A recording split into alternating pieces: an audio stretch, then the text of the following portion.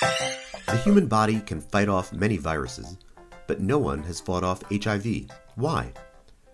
After HIV infects a cell, it integrates its genetic material into the cell's DNA and uses the cell's machinery to replicate itself. Most HIV infected cells die after a few months, but a few go into a resting state and survive for years, even for life. These latently infected cells are called the HIV reservoir. This reservoir exists in the blood and other tissues and poses the greatest obstacle to an HIV cure.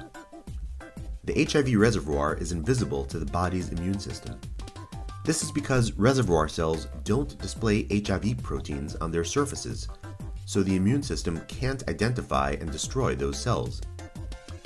Effective HIV treatment, which keeps people healthy, can block HIV replication, but it can't eliminate the HIV reservoir. If a person stops HIV treatment, virus from the reservoir almost always starts replicating again.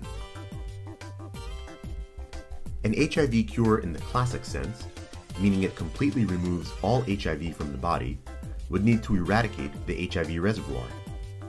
Stem cell transplantation has cured HIV in one person, the Berlin patient, but the risks, difficulty, and expense of such procedures make this a highly impractical approach for curing HIV in most people. A different, experimental approach to a classic cure would prompt HIV in the reservoir to replicate, causing infected cells to display HIV proteins. Then, an immune system boost or a drug would theoretically recognize and kill those cells.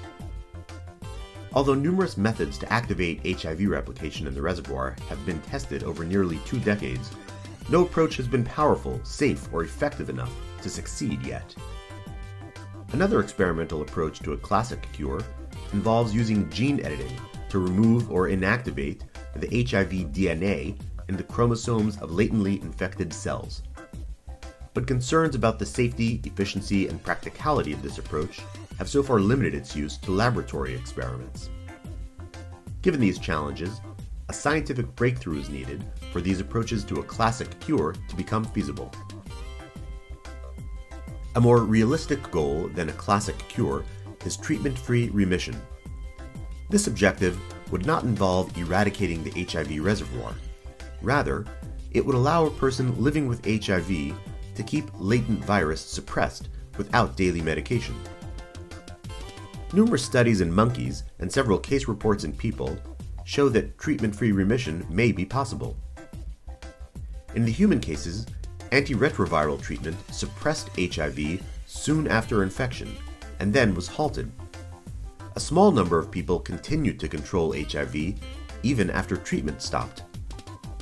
Scientists are working to understand why this happened so they can try to induce treatment free remission in other people.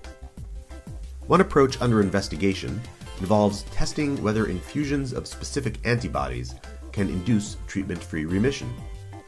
Monkey studies of this approach have yielded encouraging results, and studies in people are planned or underway. The National Institute of Allergy and Infectious Diseases is determined to find a way to help people with HIV live long and healthy lives without continuous daily medication. For more information about how we're pursuing this goal, visit our website